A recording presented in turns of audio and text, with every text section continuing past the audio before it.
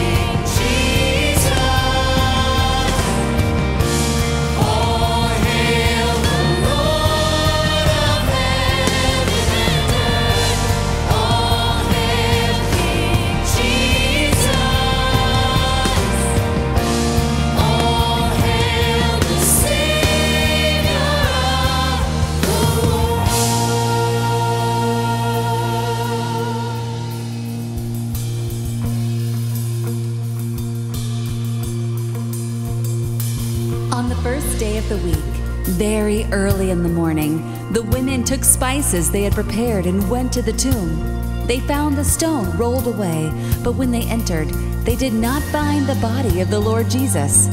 While they were wondering about this, suddenly two men in clothes that gleamed like lightning stood beside them, and in their fright, the women bowed down with their faces to the ground. But the men said to them, Why do you look for the living among the dead? He is not here, he has risen. Over the next 40 days, Jesus appeared to his followers and spent time with them, opening their eyes and minds to recognize him and understand the scriptures concerning him. He blessed them and promised to send a helper to empower them to be his witnesses from Judea to the ends of the earth. Then he ascended into heaven, and they returned to Jerusalem, continually praising God with great joy.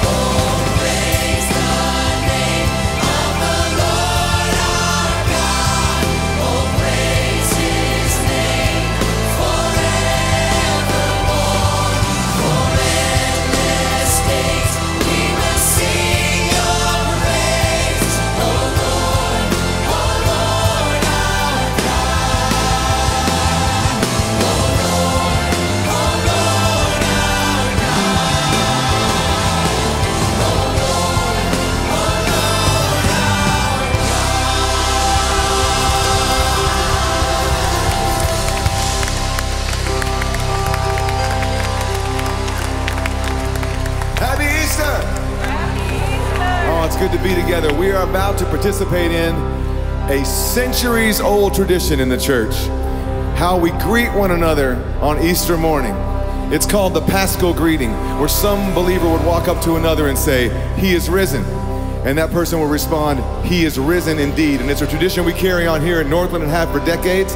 So I've asked Beth and Sheridan and Unique to kind of lead us in the He is risen, and then I will lead us in the response of He is risen indeed. We're going to do it three times. We're going to get progressively louder as each one comes, okay? This is a very joyous and a very rowdy welcome, okay? Let's do it, ladies.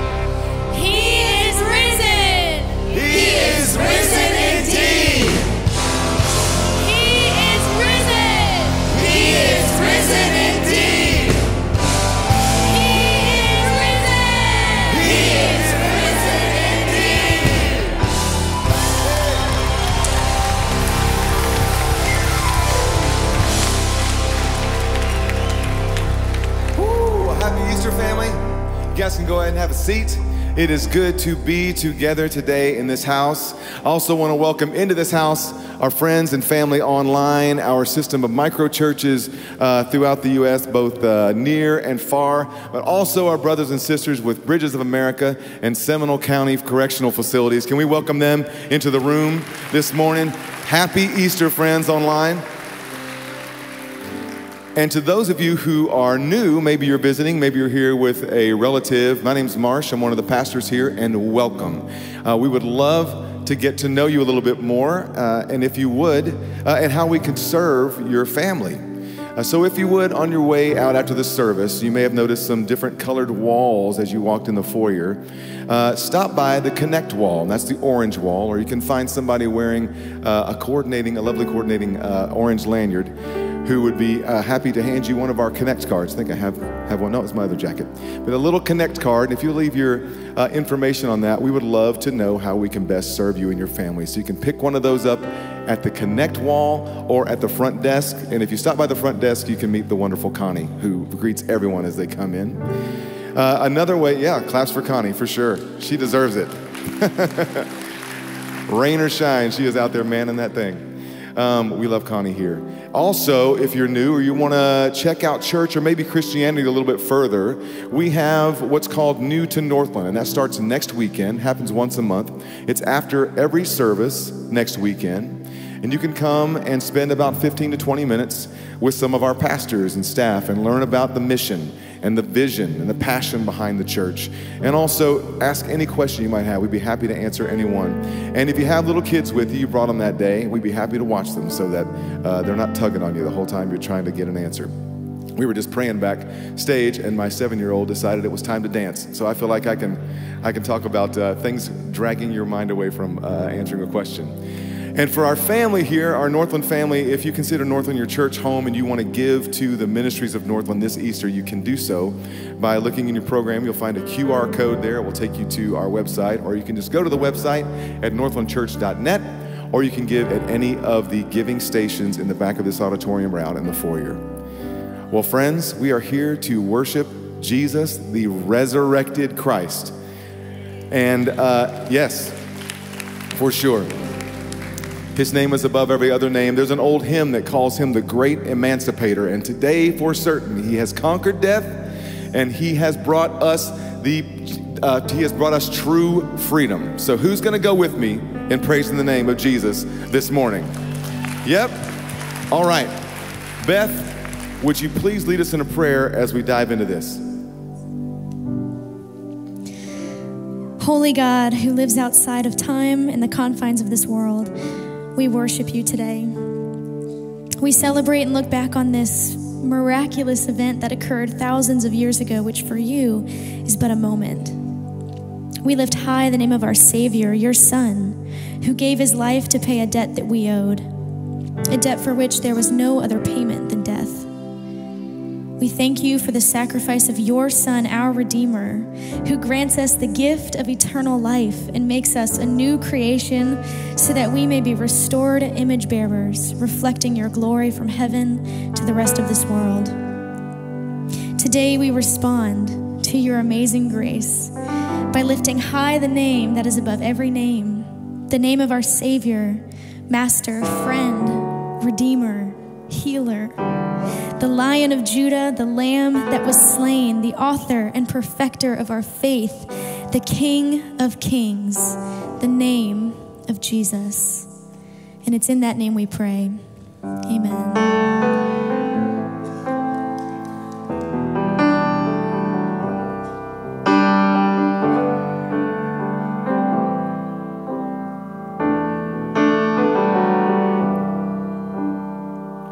This is the name of my Savior, the one who brought me home. The name of my Redeemer, the one who saved my soul for grace. To trust Him more, oh, for grace. To trust Him more. We call him faithful, we call him gracious, we call him loving, we call on him, we call him awesome, we call him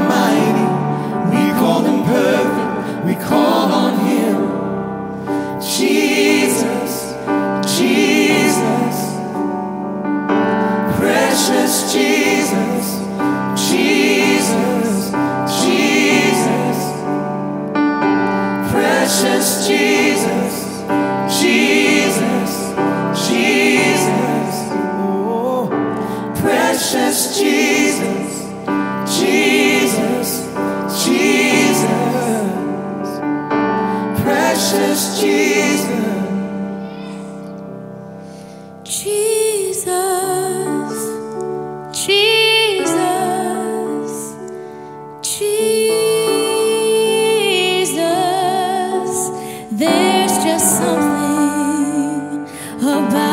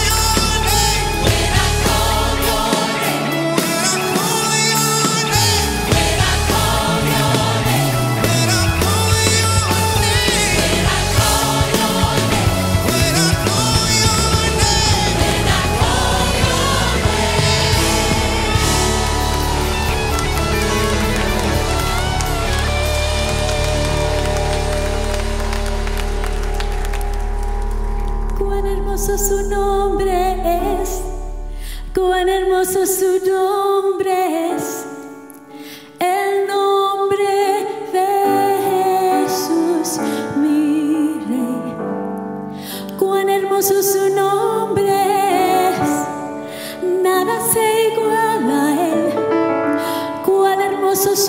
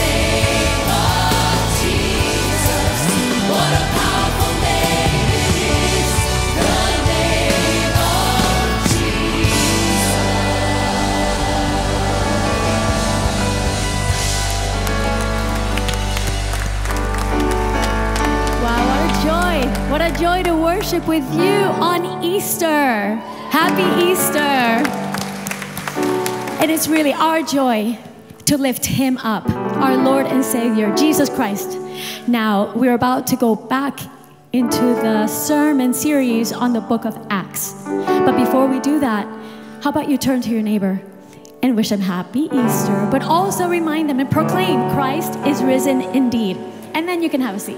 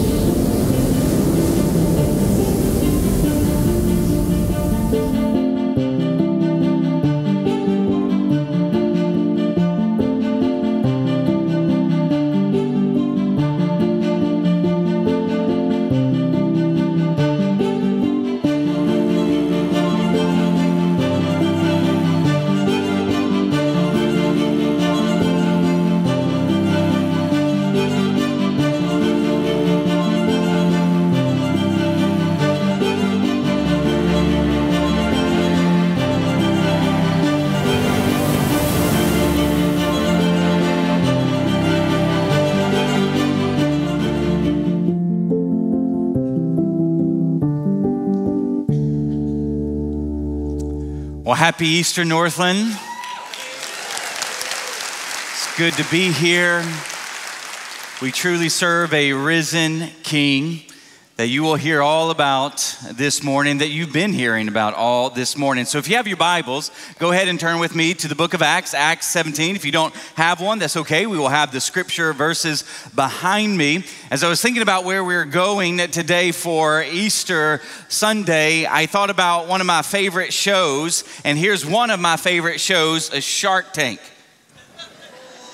Anybody out there, you like watching Shark Tank? Yeah, like I, I, love watching Shark Tank. There, there's some things that I've learned uh, over the years as I've watched Shark Tank, but this is one of the phrases that I've learned. One of the phrases that I've learned is a better mousetrap a better mousetrap. Now, you, you know, maybe if you've watched the show and you're a business person, maybe you understand what a better mousetrap is. For those of you who do not know, let me tell you, let me define it for you. A mousetrap is a smarter way to work or a product or concept that is more advanced than what is currently out there. It was the famous Ralph Waldo Emerson who said, Build a better mousetrap, and the world will beat a path to your door. So I've learned about these better mousetraps that these business owners have come to Shark Tank and they have pitched the sharks. Uh, throughout the years, there have been some famous products, a better mousetrap that have been shared. And so this is one of them, Scrub Daddy. How many of you, you got a Scrub Daddy at home? Okay, we do in the Laxton house, but I have, I have no idea why it's called a Scrub Daddy because we know daddies ain't scrubbing. Mama scrub, right? Because you know what daddies do? We just we, we if if you're lucky enough, we put it in the dishwasher. We ain't scrubbing. I ain't scrubbing. So I have no idea why they called it a scrub daddy. Here's another one, another mousetrap, better mousetrap. Dude wipes. Dude wipes. I was thinking about this whole idea of dude wipes. I'm thinking, oh my gosh, I, I, promise you, a bunch of single college guys in their dorm going, we don't want to shower, we need a wipe. So they, you know, so they designed a wipe. But it, but if they would have been married and had some children, they would understand that already existed, and it was called baby wipes. the the final product is squatty potty. Now I'm not going to ask you to raise your hand if you got a squatty potty because I don't want to make fun of you, but I have been told that it will change your life. It is the number one way to do number two. anyway, so my wife is going to kill me later. You say, you say, Josh, why are you bringing these better mousetraps up? Well, if you go all the way back to the book of Genesis, the very first book of the Bible, you're going to learn that God, the creator king, he created the world and everything in it. He had created mankind in his image. He had put Adam and Eve in this perfect garden. He said, You can have complete freedom. I actually want you to expand the boundaries of this garden. But in the middle of the garden, he put a tree that he told them not to eat from. It was the tree of knowledge of good and evil. But we know the story. Adam and Eve ate from the tree. And we know exactly what happened after they ate from the tree. Their eyes were open and that they realized they were but naked. There was some shame, there was some guilt because sin has now entered into the world. What did Adam and Eve, what did they go to work doing? Sewing fig leaves together to cover their, their, their sin, to cover their shame, to cover their guilt, to cover their embarrassment. Uh, since then, humanity has been building better mousetraps to cover their sin to cover their shame, their guilt, their embarrassment. They, they know something is wrong with them. They know something is wrong with the world, but they have gone to work through the creation of religions, through the creation of philosophies, ideology, ingenuity, innovation, technology to try and cover something that happened uh, years ago. And here's what we know I think we would all agree, regardless of whether you are a follower of Jesus or not, that we need something better than an enhanced mousetrap, which is the main point. Here we go. Let's look at the main point. Humanity doesn't need a better, more enhanced world. We don't need a better mousetrap. We've been trying to do that for millennia. It needs a whole new world. We need a whole new world. We need to be made into a new creation.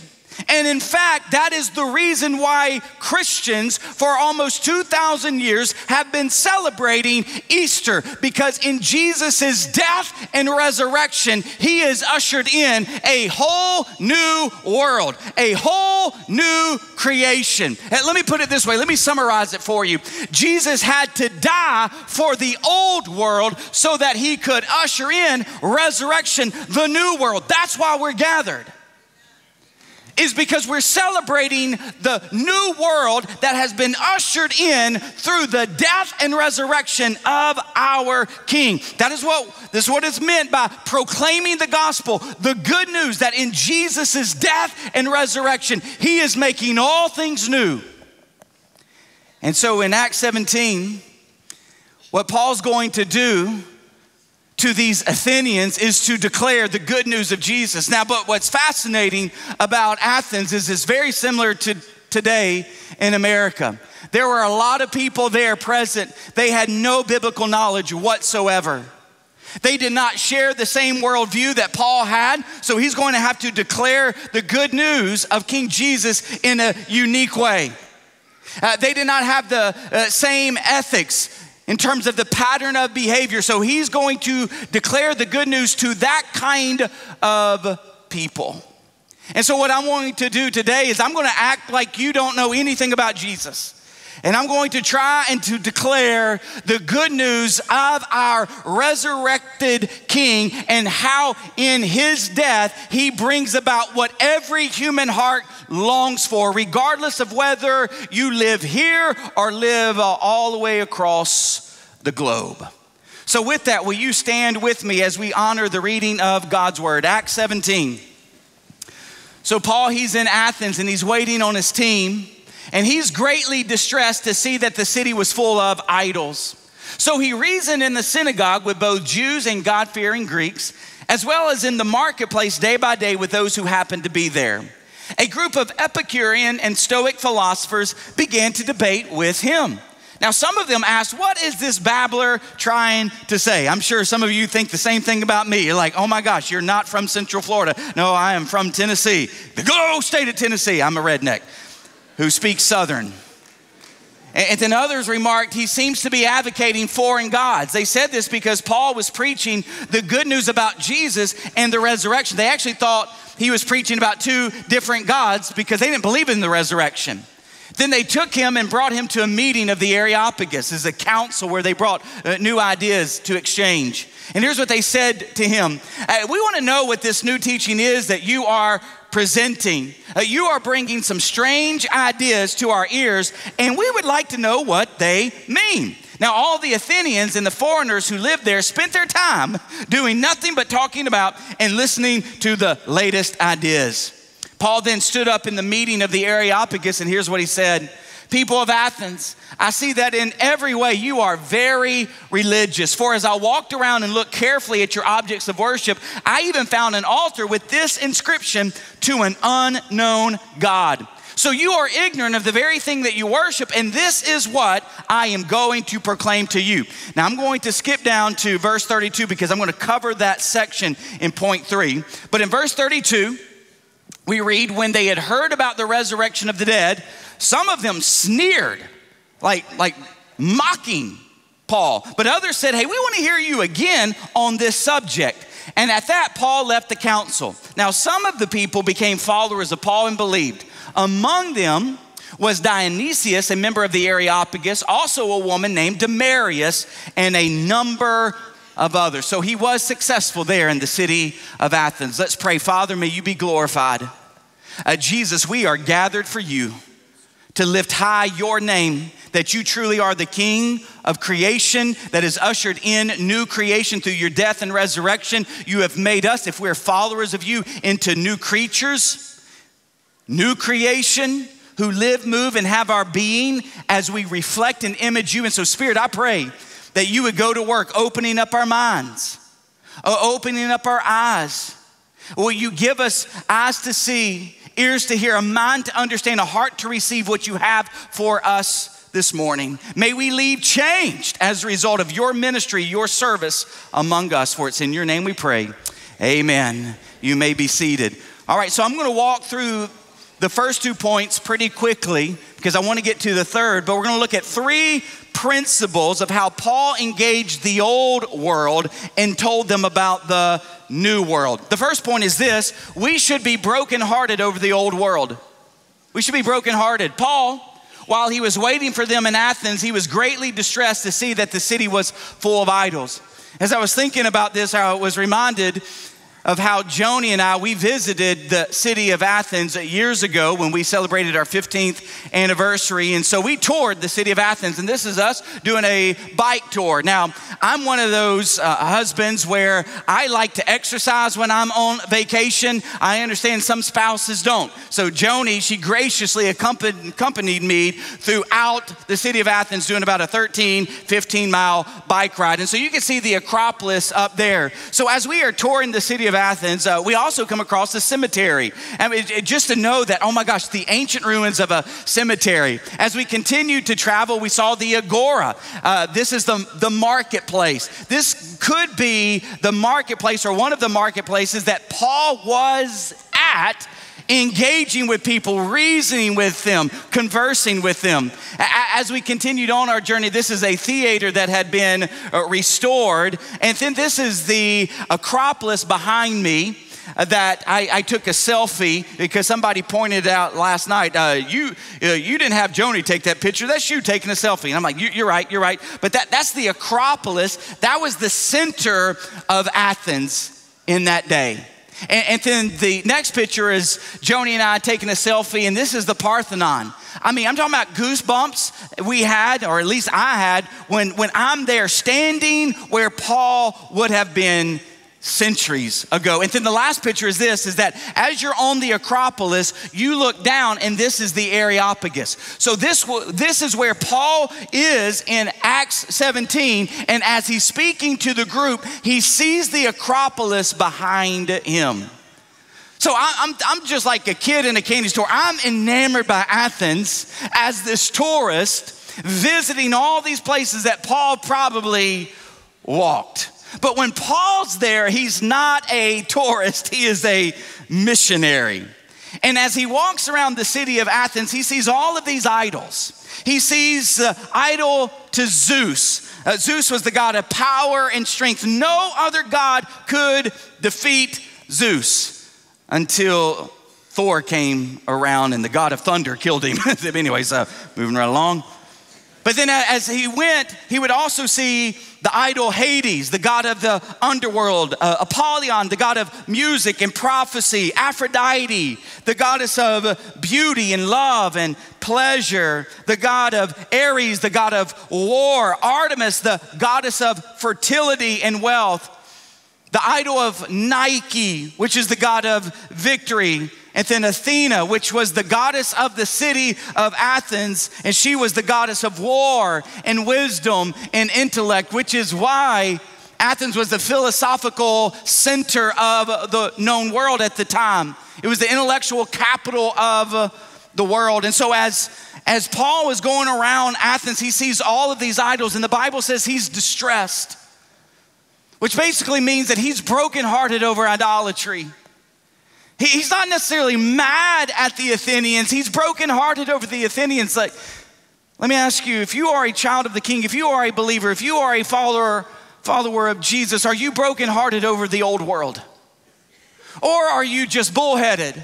Are you mad? Are you angry at things in the old world? Because here's why it's important because if you're mad and angry at the old world, you'll never reach the old world. Like if all you're doing is yelling at the TV because the, because the world is going to hell in a handbasket, listen, that, that's not what Paul's going to do. Paul's going to walk around, he's going to be brokenhearted over the condition of the old world. Hey, church, are you brokenhearted over the condition of the world? Paul is. And then the second point we see is this. We should be bridge builders between the old world and the new world. So, so yeah, we need to be brokenhearted, but second, we need to be bridge builders. So, Paul, he's going to go to the marketplace. He's going to reason with them. He's going to dialogue with them. Then they're going to take him and bring him to a meeting place of the Areopagus. He's going to go where they go. He's going to do what they do. He's going to engage in the Areopagus. And so Paul's going to stand up and he's going to say, People of Athens, I see that in every way you're religious. In some sense, congratulations. He kind of tips his hat to how religious they are. Then he says, As I walked around and looked carefully at your objects of worship, he's gonna say, I've studied your culture. I've been here for a couple days. I, I really see how you, how you worship. I- I'm aware of what's going on. Church, I also want you to know that we are called to be bridge builders, not bridge destroyers. We are not called, church, we are not called to attack, to be mean, ugly, hostile, rude, or forceful. We are not called to isolate or withdraw from the old world. And if you have been hurt by a church, if you've been hurt by a Christian that has used truth or used the Bible as a weapon, I am sorry. If they have destroyed bridges, I am sorry. Because our king, he was a bridge builder. Even the greatest missionary, Paul, he was a bridge builder. We here at Northland, we want to be a bridge builder. We want to engage, we want to connect. Now, what is a bridge builder? Well, let me first tell you what a bridge builder isn't so that we're all on the same page.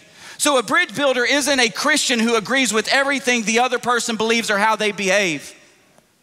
A, a, a, bridge builder isn't a Christian who applauds or accepts behaviors and beliefs that are detrimental to the other person because that's happening today in the 21st century. There are churches, there are Christians that actually applaud sin, accept sin in the name of freedom of expression. Listen, if we as the church, if we begin to applaud sin, accept sin, and then we begin to assimilate and join in what they are doing, we're no longer a bridge builder. We have crossed from one side to the other. Y'all all right? So that so I want you to understand this is not what we are. This is not a bridge builder. What's a bridge builder? I'm glad that you asked. Someone driven by God's love. We want to be driven by God's unconditional love, which means that we're going to be driven by kindness and compassion. Also, we want to we want to be aware of the surroundings. I'm going to model that for you here in a second. We want to work towards a cultural intelligence, which I will model as well. We, we, we want to compliment the good that we see. But we want to find connecting points, and then we want to ask good questions. For far too long, the church has, has been on the defense because the culture has been the one asking questions, berating us with questions. Many times, just got you questions. But if we can learn to be honest and inquisitive and ask the world, what do they believe? We can actually be a bridge builder. Paul is a bridge builder. Let us be a bridge builder. But the third point, this is where I want to spend most of our time. We should be bright and bold witnesses declaring and demonstrating the new world. Paul was bright. He was, he was of a sound, bright mind. He was a bold witness. So the question is how can we as the church be bright witnesses? Well, here's how bright witnesses find an entry point. Paul found it in the unknown God. So as Paul goes around the city of Athens, he sees all of these temples, all of these idols. He comes across this one idol that doesn't have a name, just basically it says, the inscription says, to an unknown God. Because they had so many gods that they created this idol that if they have forgotten a God out there, he, they don't want that God or goddess to feel left out. So just to an unknown God, if we forgot any of you, we're sorry. Here's your idol. And Paul is going to use that idol as the entry point, as the connecting point to share the gospel. And so as he connects there, I want, I want to put up a framework because this is what we need to do today in the church. I'm going to try to model it for you about how we can connect, deconstruct, and reconstruct. Because what Paul's going to do, he's going to connect on categories that they would know He's going to deconstruct their worldview, and then he's going to reconstruct it according to the Bible. All right, so let's go look through it real quick. So he's going to talk about deities. Now, what's interesting there in that day is that you had all these philosophers, they didn't even agree on the worldview, but yet they all understood this, this idea of gods. And so he's going to connect with them on that idea that everybody would have known about, although they may not all believe the same thing. And what he's going to do is he's going to deconstruct because they believed in many gods. And the deconstruction is this is that Paul says there is one overarching personal creator who wants to be known. Because another thing about polytheism in that day is that they believed like Zeus and, and Apollos and Ares, they're really not involved in the affairs of men. They're off doing their thing, having fun as these demagogues and gods. And so, so they didn't believe that the gods were in involved in the affairs of men. But Paul is saying that there is one true God and he cares about what you are doing. And the reconstruction is this this God made the world and everything in it, and he is actually king over all creation. So he again is deconstructing to reconstruct a biblical worldview for them. Then he's going to connect in the category of temples. They had a plethora of temples. And here's what he does in terms of deconstruction he says the creator doesn't live in temples and doesn't need anything from you. So as I've gone through the city and I've seen all these temples, I see how you sacrifice to these gods and how you basically put out food for them. And here's what he's getting at. If you gotta feed your God, he ain't much of a God. And so, what he's going to reconstruct it with is that this God actually gives you everything that you need, including your breath to live. So he's going to reconstruct. Uh, then he's going to hit him on the category of nations. And here's, here's the deconstruction that this God that I'm telling you about, he isn't tribal, regional, or geographical, but he's global. Because you have to understand how they thought in antiquity, is that they thought gods were regional or tribal. But what, what Paul is saying is no, no, no. This God that I'm proclaiming to you, he is actually the God over the nations. He's actually created every nation, and this God is God over all, and he wants to unite the nations. So he doesn't want there to be frictions uh, but between all of these nations and tribes. He actually wants to unite every tribe, every nation, every tongue, every people group. And then he's going to get the category connection of poets and, and he's going to fast forward and he's going to use even their own poets to reconstruct this biblical worldview for them. That one poet said, In him we live, move, and have our being. And another poet said, We are God's offspring. So Paul is connecting, deconstructing, and reconstructing through the idol to an unknown God. Now you say, well, that's great there, Pastor Josh, uh, but how do you apply that to today. All right, so here's the question. Here's the question What is an entry point for Americans? What is an entry point for Americans? Well, there can be many entry points in terms of connecting, then deconstructing, and then reconstructing. But here's the one that I'm going to use for us this morning our nation, the supposed new world. Because if you know anything about American history, you understand that we truly are a nation of immigrants, that people hundreds of years ago came to this land in search of new freedoms, new opportunities. It really was this new world. If you don't believe me, look at what Alexis de Tocqueville, the Frenchman, here's what he said in the 1800s. At that time, these same principles, such as natural law, natural rights, natural liberty, unknown and scorned by European nations, were proclaimed in the wilderness of the New World and became the future creed, a political catechism of a great people. Look at what Thomas Paine said. He says, We have it in our power to begin the world over again. So, the author of Common Sense, a situation similar to the present hath not happened since the days of Noah until now, the birthday of a new world. You see, at the very beginning of America's inception, people came here because it was proclaimed as a new world. Even Alexander Hamilton in the play Hamilton exclaims, In New York, you can be a new man. But here's the question Has America become a new world or just an enhanced version of the old world? Is it just a better mousetrap compared to every other nation on planet Earth? Did you know that in Athens, Athens was the seedbed of democracy?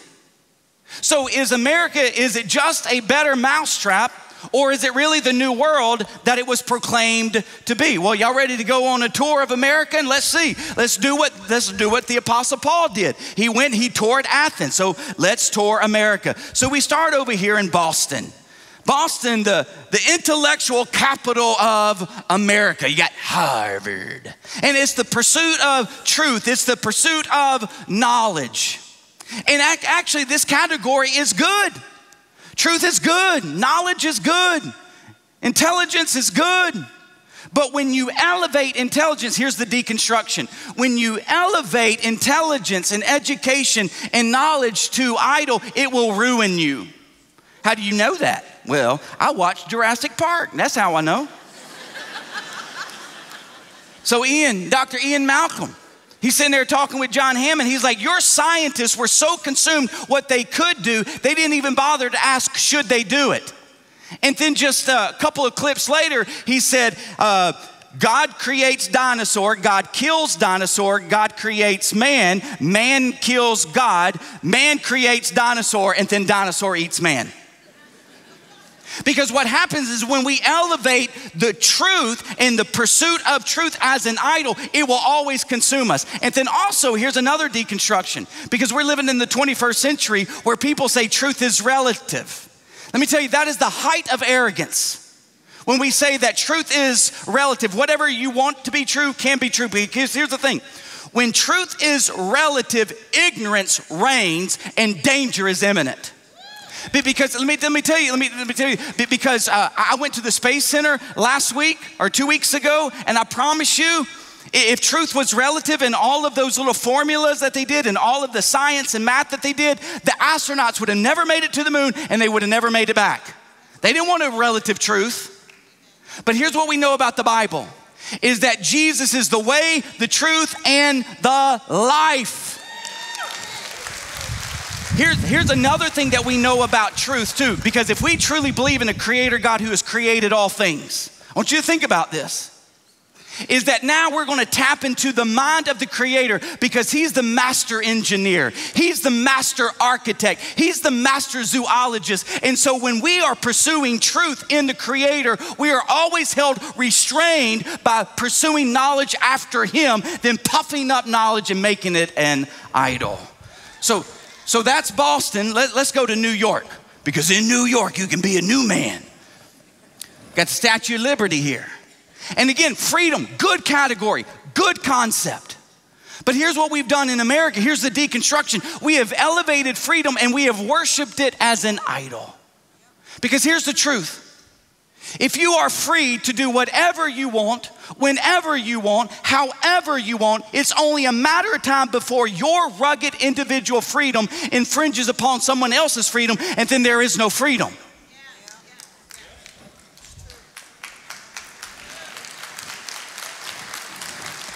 But according to the Bible, according to the Bible, that if we abide in Jesus, where the Spirit of the Lord is, there is freedom. If the Son has set you free, you are free indeed. It doesn't matter if you are in America, doesn't matter if you're in Kenya, doesn't matter if you're in Iran, doesn't matter if in, you are in Cuba, it doesn't matter because if you are in Jesus, He has truly set you free. Okay? Then, then Paul's going to, he's, he's going to go down the street. He's going to find the, the bull of Wall Street. He's going to think, man, this is like a lot, a lot like Athens. I got all these idols everywhere. But, but worshiping the God of money, power, success, and work. And here's the thing this is a good category in terms of a connection point, is that money can be used for good. Work is good, but when you elevate money, when you elevate success, when you elevate work to an idol, it will always, it will always be detrimental to you and those around you. If you don't believe that, watch Succession. Or watch Yellowstone because you have a, Ro, a, a Logan Roy and John Dutton. They are the epitome of those who have now elevated these things to idol status. And they crush everybody around them. But but if you read if you read the Bible, the Bible framework is saying this is that hey, if you take these things of work, money, success, and power, and if you bring them under the lordship of God and you glorify God with these things, it will lead to flourishing, not abuse. Okay? So you, you see how we're connecting, deconstructing, reconstructing. Well, then we go to Washington, D.C. And he's he gonna see this flag, but he's gonna see all these other flags. And he's just going to begin to ask questions. So didn't your founding fathers, didn't they want just a one party system? Now, why did they want a one party system? Because, as one of our famous, probably best presidents said one time, a house divided cannot. See, uh, see, see what we what we need to understand. See again, a house divided cannot stand. Just let that sink in if you're an American, because we are quite divided right now. But the Bible says we ain't looking. We ain't looking for a constitutional republic. We are looking for a kingdom that's not of this world a kingdom of holiness and righteousness, a kingdom of shalom and total flourishing. So he's going to go and again he's going to reconstruct. Then, then he's going to make his way to the fabulous Las Vegas. And he's going to see the idol of entertainment and sexuality. And here's what we know that if you elevate entertainment consumption to idol status, to, to worship it ultimately, if you elevate sexuality to idol status and you worship it supremely, it will always crush you. But here's what we know in terms of the scriptures is that God wants us to consume culture. He wants us to enjoy what we have made. He enjoyed what he made but to do so under His lordship for His glory and others' good. And then He's going to make it to LA. And he's going to see these statues that are of the Emmys and the Grammys that people have won. That people pursue popularity and fame and celebrity status. And before you start thinking, oh, well, that's not me. Well, if you are on Facebook and you, and, and you become depressed because not a lot of people liked your post, uh, you fit in right there. Because we want to be known, we want to be seen, we want people to like us. And so when people, again, here's the thing if you elevate popularity, if you elevate being known, if you elevate people liking you, you will be crushed when people don't. Oh, but you know what the Bible says, don't you? Is that if we are hidden in Christ, if we find our identity, who we are in Him, because He's the same yesterday, today, and forever, we'll never be crushed. Why? Because He was crushed for us so that we would always be secure in Him.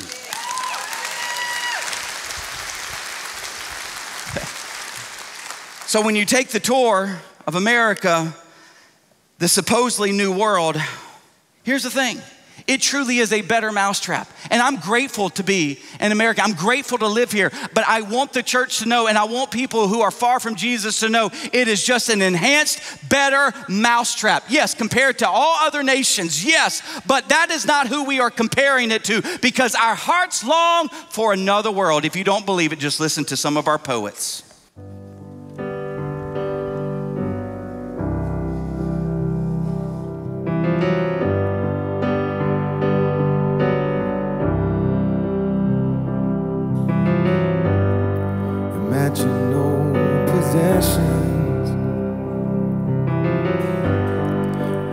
Wonder if you can.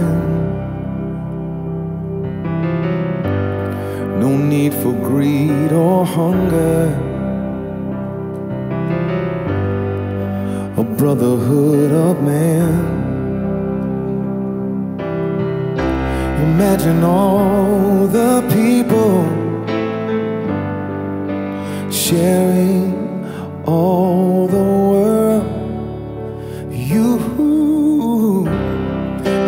say I'm a dreamer, but I'm not the only one. Hope someday you will join us. and the world will live as one.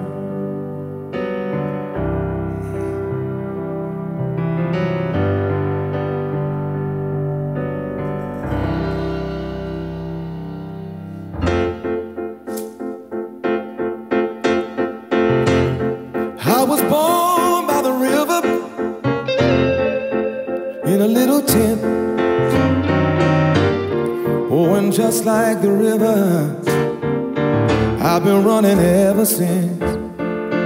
It's been a long time. I said a long time coming.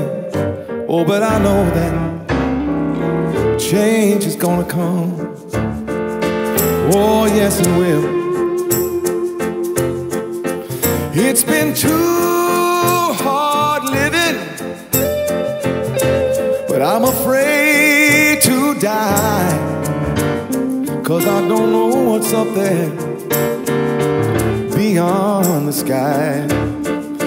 It's been a long time,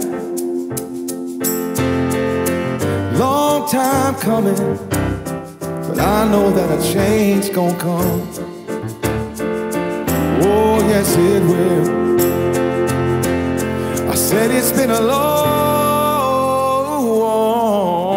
time coming. Oh, yes, it will. But a change gonna come.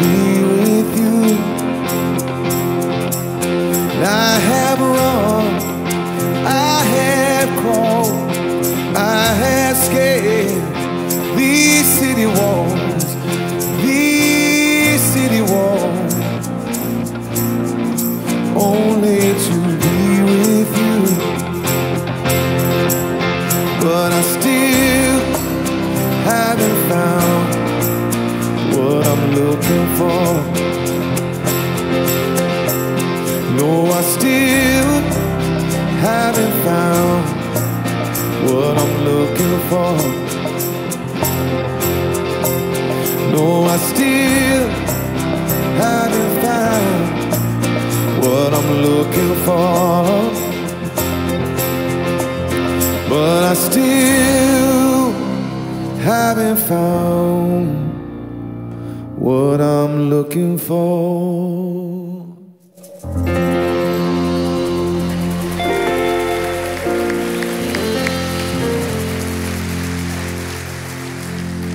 could have definitely had even more poets, but these poets are singing about imagining another world, waiting on change to come, still haven't found what they are looking for. And when you look at just even the last 25 years, what we've experienced as Americans, we've experienced 9 11, we've experienced war on terrorism, a great recession, more school shootings, moral decline, decline in religion, a border crisis, people using the language of the next civil war, political upheaval. You have one side saying build back better, another saying make America great again. We've lost a binding center. We have racial division. We've faced a COVID pandemic. We have a rise in mental illness and a rise in suicide. So the entry point to being a bright witness could actually be used in the supposedly new world that is just an enhanced, better mousetrap.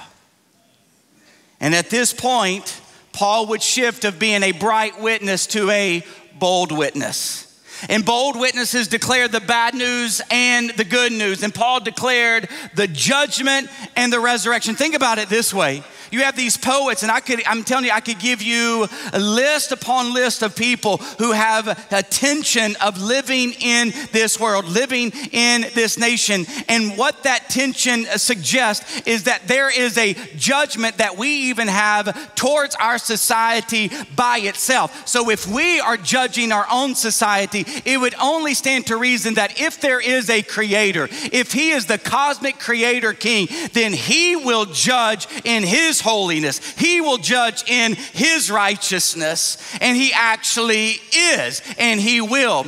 In the series Manifest, there's this whole idea around the death date. I want you to understand there is a death date for every human being, and there is a death date for the cosmos. And if you die without Jesus, you will stand in the crosshairs of God's judgment, and He will pour His wrath out on you because you are a rebel. You have committed treason, and that re- rebellion and that treason came as a result of your sin. You ignored Him.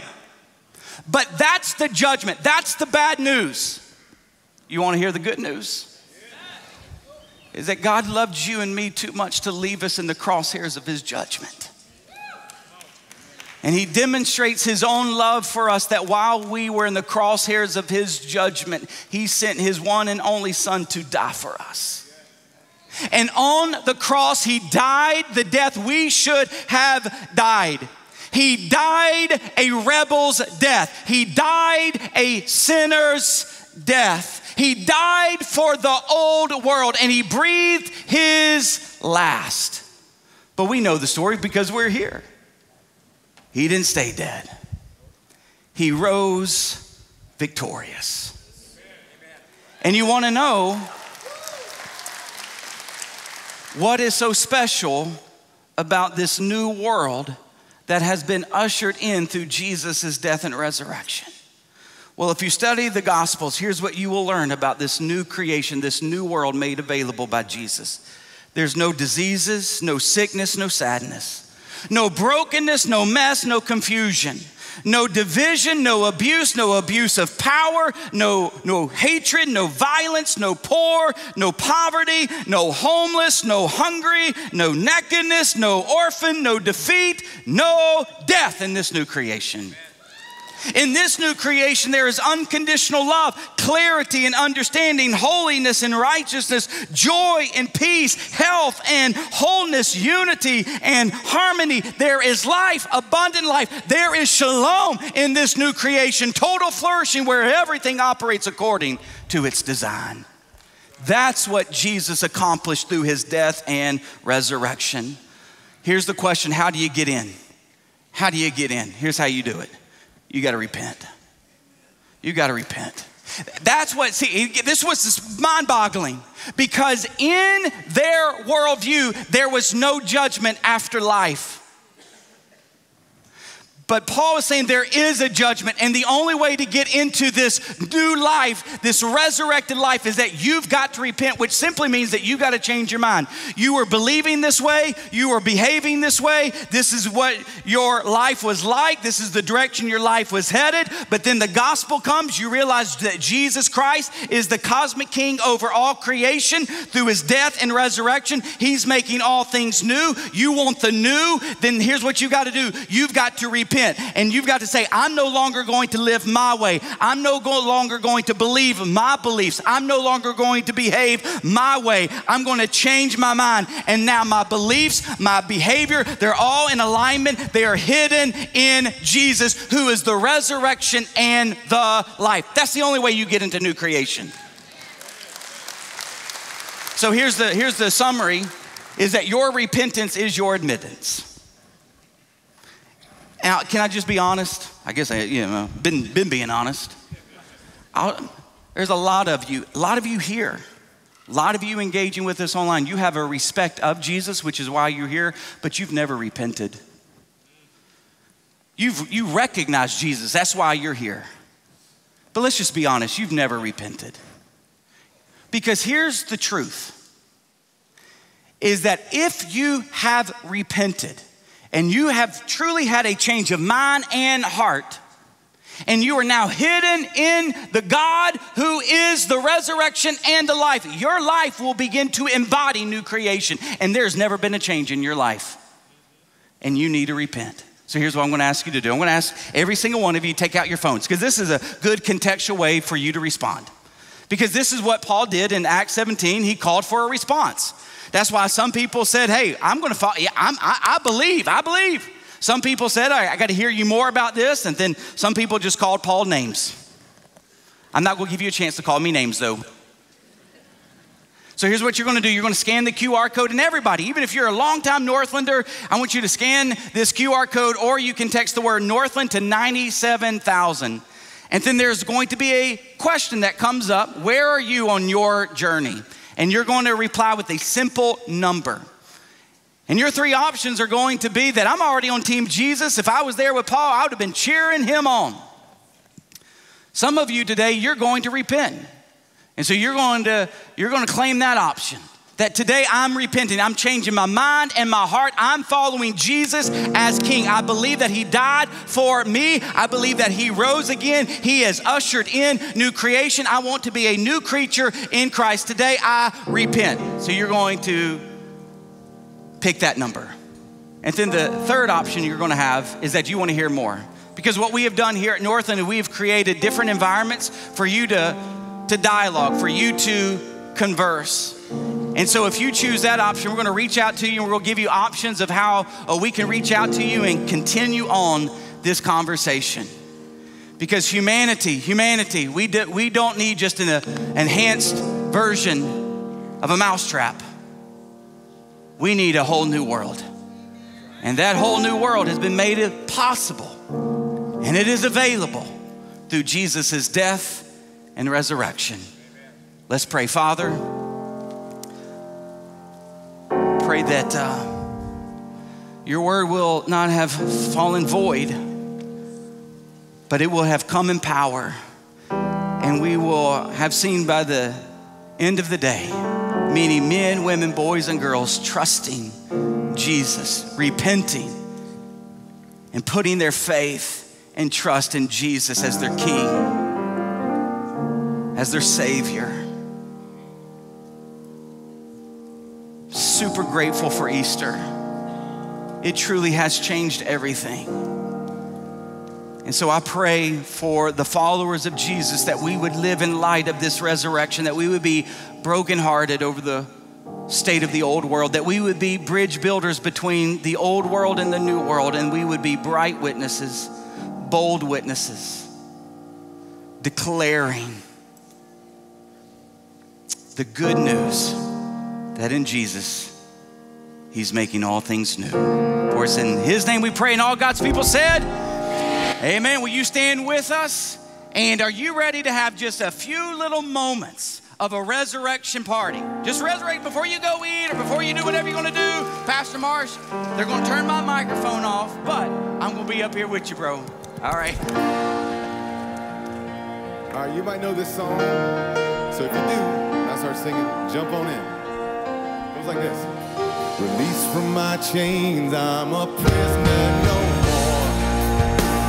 My shame was a ransom he faithfully bore. He canceled my debt and he called me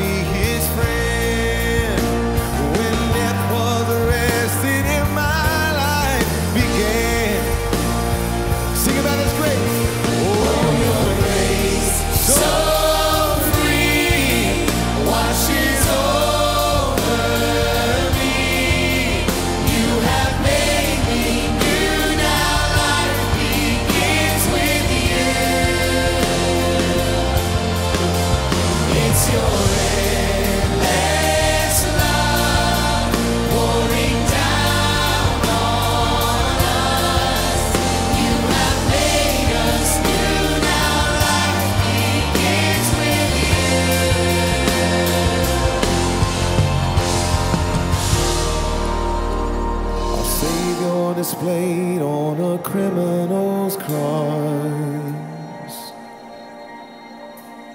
The darkness rejoiced as though heaven had lost.